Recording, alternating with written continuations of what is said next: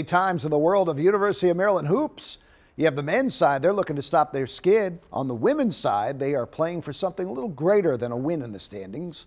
WMAR2 News' Sean Stepner is at College Park tonight. Sean?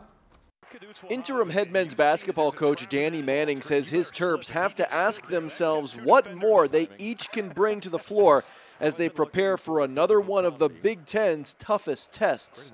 When you're not winning games the way you want to win games, or you're not playing to the level that you feel like you're playing at, yeah, there's there's always going to be some uh, disappointment, if you will, and a lot of it is from an individual point of view knowing that, you know, possibly you could give a little bit more. Losers of five of their last six games, the Maryland men host number 17 Illinois on Friday, the same Illini team that topped the Terps 76-64 a couple weeks ago in Champaign. The same Illini team that boasts seven-foot matchup nightmare Kofi Cockburn. He's averaging over 21 points per game leading the Big Ten with almost 12 rebounds per contest. You know, Kofi's a, he's a tough cover. You know, there's no doubt about it. He's one of the best, if not the best big man in the country. We've got to make him work. Cockburn had 23 and 18 against Maryland in meeting number one.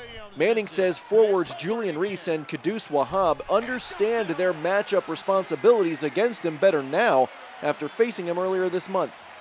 While the Terps men tip off here at Xfinity Center tomorrow night, the Maryland women are on the road this evening, continuing to play with heavy hearts. Head coach Brenda Frese will miss tonight's game at Ohio State. She is in Iowa with her family mourning the passing of her father, Bill, who died Sunday following a long battle with prostate cancer.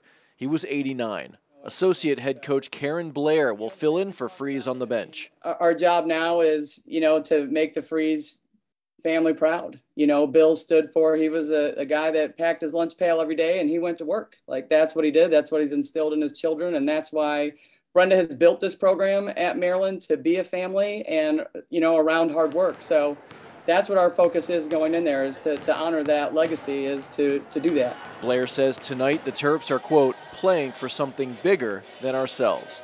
In College Park, Sean Stepner, WMAR2 News.